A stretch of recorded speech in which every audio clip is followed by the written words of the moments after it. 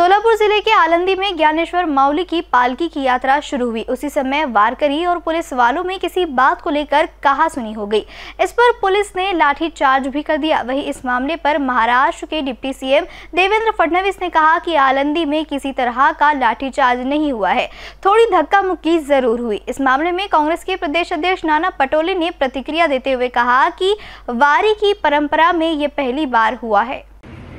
शेकडो वर्ष चाललेल्या या वारकरी परंपरेवर एकनाथ शिंदे आणि फडणवीस सरकारनी जे गालबोट लावलं ज्या पद्धतीनं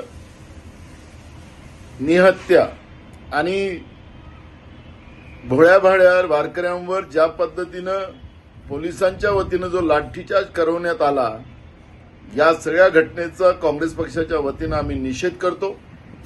आणि महाराष्ट्राची ही परंपरा जी पुरोगामी परंपरा आहे या परंपरेनं सगळ्या धर्माच्या लोकांना सोबत घेऊन चालवण्याचं काम केलं व्यसनमुक्त समाज निर्माण करण्याचं काम केलं अंधश्रद्धा निर्मूलन करण्याचं काम या वारकरी परंपरेनं केलं या परंपरेला संपवण्याचं पाप ही जातीवादी जी सरकार महाराष्ट्रात आली या सरकारनी याला गालबोट लावण्याचं पाप केलेलं आहे.